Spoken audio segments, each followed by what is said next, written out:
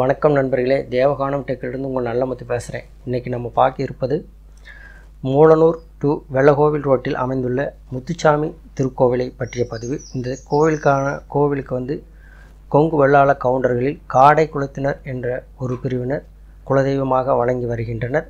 இந்த கோவிலை பற்றிய பதிவைத்தான் நாம் இந்த வீடியோவில் பார்த்து கொண்டிருக்கின்றோம்.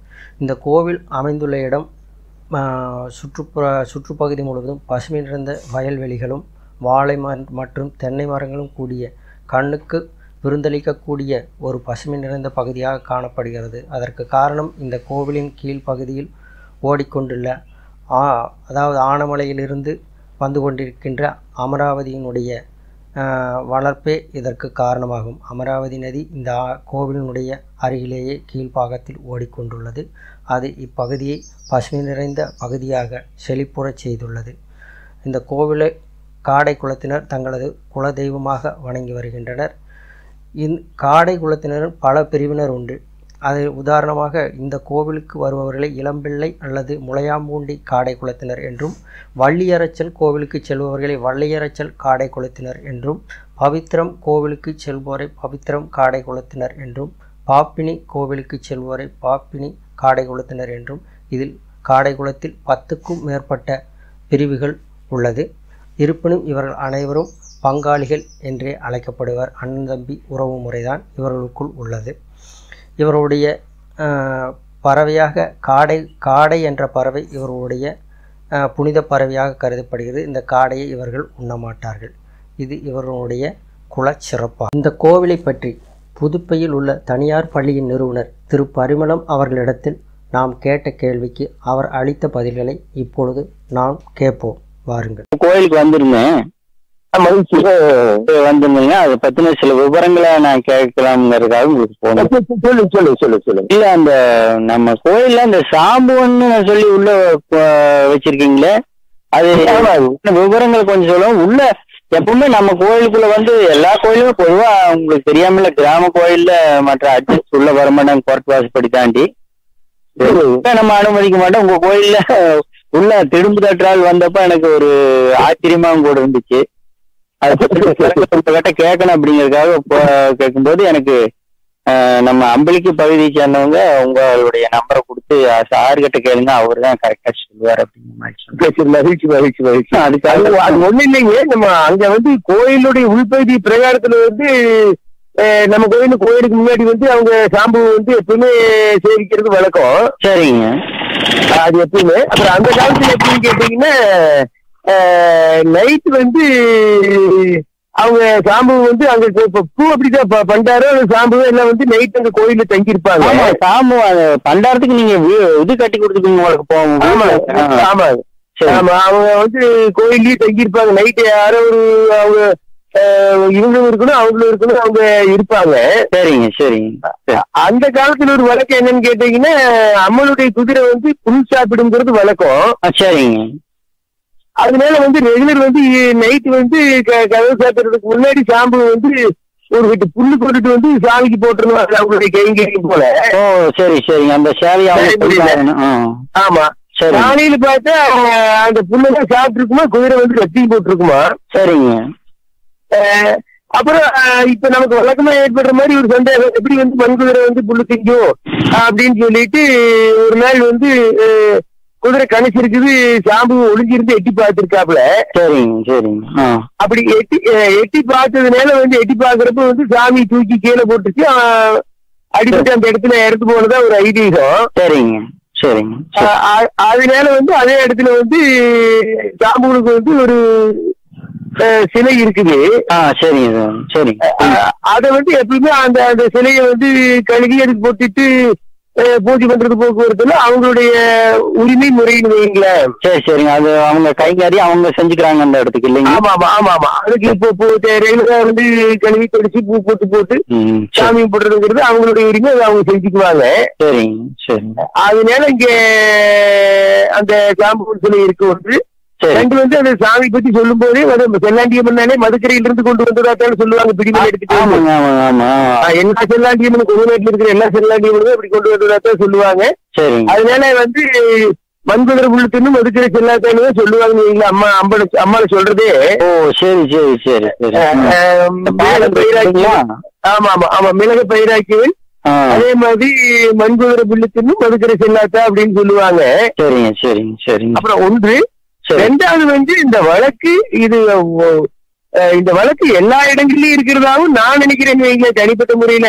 எல்லா பெரும்பாலான ஆலயங்கள் வந்து மிளக பயிராக்கினதாகவும் மண்குதிரை புள்ளி தின்னதாகவும் பல ஆலயங்கள் இந்த கதை சொல்லப்படும். ஆமா ஆமா ஆதிதெய்வமே அதுதான். அது சரி. தோட்டக்குளத்துக்கான ஆதிதெய்வமே அதுதான். முச்சையில் செல்லாண்டியம்மன் கோயில் கூட செய்வழி செய்திகளா பாத்தீங்கன்னா முதல்ல செட்டியார் வீட்டு வழிபாடு செஞ்சுட்டு இருந்தாங்க. அவங்க கிட்ட இருந்து நம்ம நம்ம பொறுப்பெடுத்துக்கிட்டோங்கிற மாதிரி சொல்லுவாங்க. ஆமாங்க ஆமாங்க ஆமாங்க ஆ. கோவிலினுடைய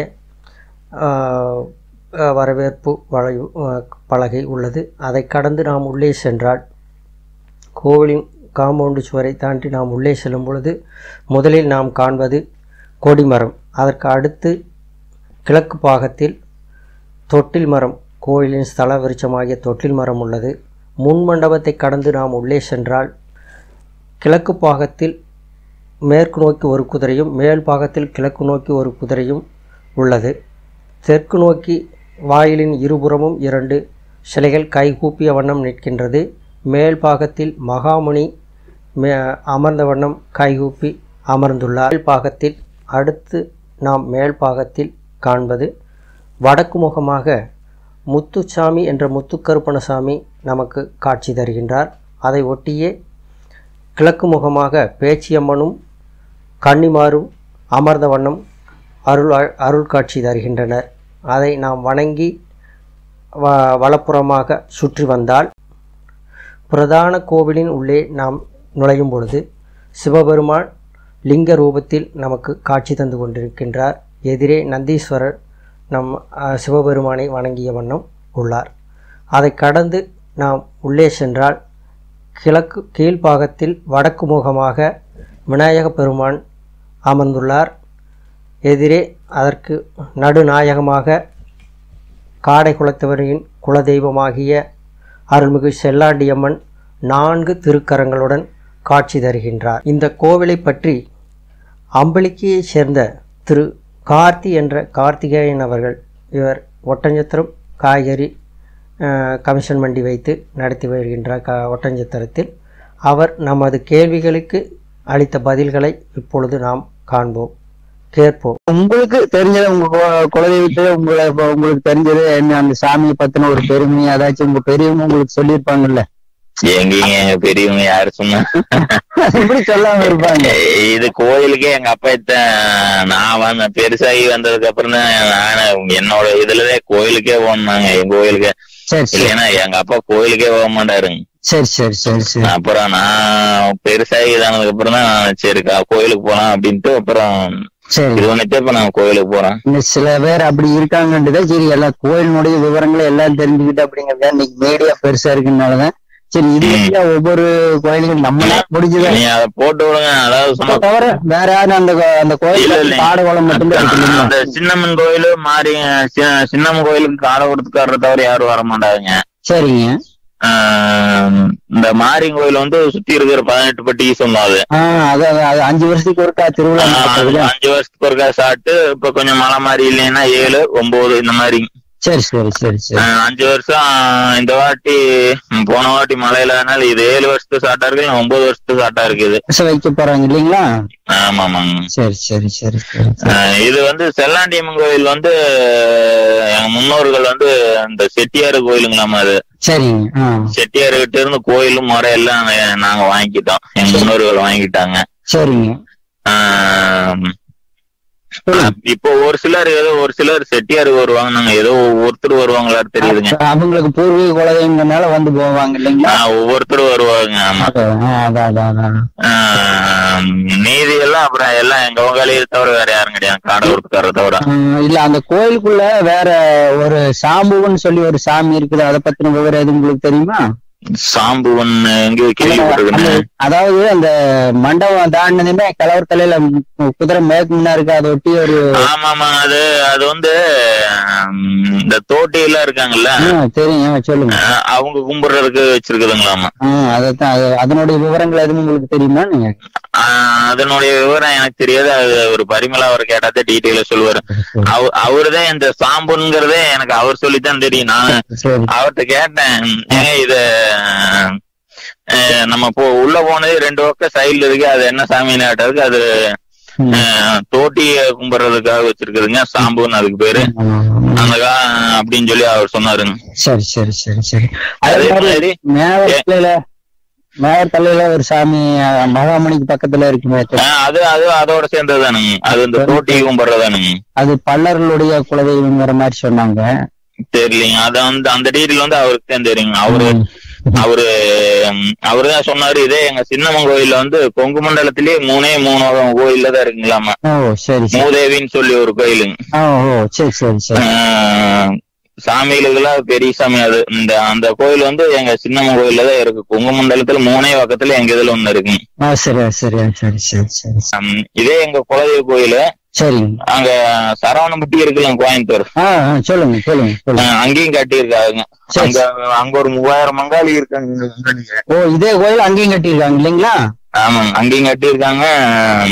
அங்கேயெல்லாம் தங்க கலசம் வச்சிருக்காங்க கோயில் மேல. ஓஹோ சரி சரி சரி சரி சரி சரி. அவங்க அவங்க இடம் வாங்கி கட்டி தங்க கலசம் வச்சிருக்காங்க. மேற்கோள் ஆளுங்க எப்பவுமே கொஞ்சம் வசதியா தான் இருப்பாங்க. கோயம்புத்தூர் பொள்ளாச்சி வந்துட்டா. ஆமா. அது அவரு அந்த ஐயன் ஒரே ஒரு ஐயன் அறுநூறு வருஷத்துக்கு முன்னாடி போனவருங்க. இப்ப மூவாயிரம் குடும்பம் இருக்கு. விருத்தியா இருக்குது. ஆமாங்க. இந்த அளவுக்கு டீட்டெயிலே எனக்கு அவர் அந்த பரிமளா அவர் சொல்லித்தான் தெரியும். அவருதான் இப்ப அவருதான் எங்க கோயில் நிர்வாகி சின்னம் கோயில் நிர்வாகி. சரி சரி சரி. அவருதான் கரெக்டா கோயில் கும்பாபிஷேகத்தன்னைக்கு அந்த மூவாயிரம் குடும்பம் முதல்ல வராம போகாம இருந்தாங்க. சரி சரி. கோயில் புடிமண் எடுத்து கொண்டு போய் கட்டுனால வராம போகாம இருந்தாங்க. சரி. அப்புறம் அவருதான் என்ன ஒன்னாரு சரிங்க. மூவாயிரம் குடும்பத்தையும் கும்பாபிஷேகத்துக்கு பேர்ல ஒண்ணு சேர்த்து இது ஒன்னாருங்க இப்பொழுது அம்மனின் வடிவலகை வர்ணிக்கின்றேன். கேளுங்கள். இந்த அம்மன வடக்கு முகமாக நான்கு திருக்கரங்களுடன் அருட்காட்சி தந்து கொண்டிருக்கின்றார்.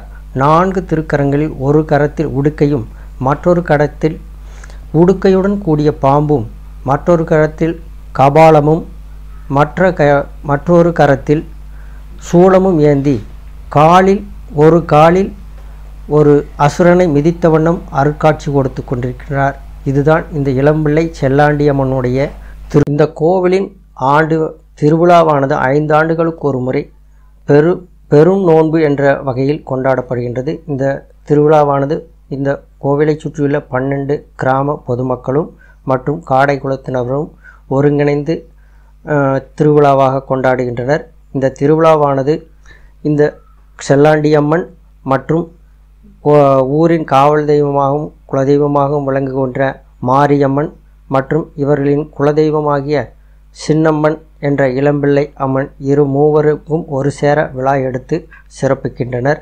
இந்த கோ இந்த மூன்று கோவிலினுடைய நிர்வாகங்களையும் இந்த கிராம பொதுமக்கள் பன்னெண்டு கிராம பொதுமக்களும் மற்றும் காடை குலத்தினரும் ஒருங்கிணைந்து நட நிர்வகித்து வருகின்றனர். இந்த கோவிலினு இந்த கோவிலுக்கு சேர்ந்த இந்த ஊரினுடைய குலதெய்வமாக விளங்குகின்ற மாரியம்மனுடைய கோவில் கும்பாபிஷேகம் இந்த ஆண்டு தை மாதம் வருகின்ற இரண்டொரு ஒரு இரண்டு இரண்டு மாதங்களே உள்ளது தை மாதத்திற்கு. அந்த தை மாதத்தில் கோயில் கும்பாபிஷேகம் நடைபெற உள்ளது. அந்த நேரத்தில் நாம் இந்த வீடியோவை இட்டுள்ளது. இந்த தேவகானம் டெக்கில் நமது நமது வீடியோவாக இந்த கோவிலை பற்றி சிறப்பித்துள்ளது. மிக்க மகிழ்ச்சியாக உள்ளது. இந்த கோவிலில் உள்ள சாம்புவன் என்ற அந்த சிலையினுடைய வரலாறு மிகவும் சுவராசியமானது பல பழங்காலத்தில் இந்த கோவிலில் அனுதினமும் மாலை வேளையில் பசும்புல் எடுத்து வந்து இந்த கோவிலில் உள்ள குதிரை சிலைக்கு இடுவது இந்த சாம்புவனுடைய வேலையாக இருந்துள்ளது. மறுநாள் அதேபோல இந்த கோவிலை சுத்தப்படுத்தி சுற்றுப்பிரகாரங்களை சுத்தப்படுத்தி அந்த குதிரை ஈட்டிற்குள்ள சாணங்களை பெருக்க சுத்தப்படுத்துவது இந்த சாம்புவனுடைய வேலையாக அனுதினமும் இருந்துள்ளது. இந்த கோவிலில் அன்றும் சரி இன்றும் சரி இரவு வேளையில் கோவிலினுடைய பூசாரியும் மற்றும் இந்த சாம்பவன் குலத்தைச் சேர்ந்த தோட்டி தோட்டி ஒருவரும் இங்கேயே தங்கியிருக்கும் செய்துள்ளனர். இவ் இரவு வேளையில் இங்கேயே தங்கியிருக்க அவர்களுக்கு வசதி செய்து கொடுத்துள்ளனர். இன்றும் அந்த நடைமுறை பின்பற்றப்படுகிறது. அப்படி இருக்க ஒரு நாள் இந்த சாம்பவனுக்கு ஒரு சமயம் பெரும் ஒரு சந்தேகம். அதாவது எப்படி குதிரை சிலை நாம் இடுகின்ற பசும்புள்ளை உண்கின்றது என்பதை காண வேண்டும் என்ற ஆவல். அப்படி இருக்க இரவு வேளையில் குதிரை கணக்கின்ற சத்தம் கேட்கிறது. இந்த சாம்புவன் ஓடிச் சென்று அந்த கோவிலினுடைய மதிர்ச்சுவரை எட்டி அந்த பக்கம் நோக்குகின்ற நோக்குகின்றான். அப்பொழுது குதிரை பசுமுள் தின்று கொண்டிருக்கின்றது. இந்த காட்சியை சாம்புவன் காண அந்த நேரத்தில் இந்த அம்மனுக்கு அதாவது செல்லாண்டி அம்மனுக்கு கோபம் கோபம் மேலிட்டு இந்த எட்டி பார்த்த இந்த சாம்புவனை அடித்து கீழே தள்ளிவிடுகிறது. கீழே விழுந்த சாம்புவன் இறந்து விடுகின்றான். அந்த சாம்புவன் இறந்த இடத்திலே இப்பொழுது அவனுக்கு சிலை நிறுவப்பட்டுள்ளது. இந்த சாம்புவன் சிலையானது அருள்மிகு செல்லாண்டியம்மனை இருகரம் கூப்பி நின்றவன் நின்றவண்ணம் கைகூப்பி கு- வணங்கி கொண்டு நிற்கின்றது. இது குலதெய்வமாக இந்த அந்த வகைராவைச் சேர்ந்த சா- சாம்புவன் வகைராவைச் சேர்ந்த தோட்டி ம, இனத்தவர் வணங்கி வருகின்றனர். அதன் அதன் மூலம் இந்த செல்லாண்டியம்மனும் முத்துச்சாமியும் அவர்களுக்கும் குலதெய்வமாக உள்ளது.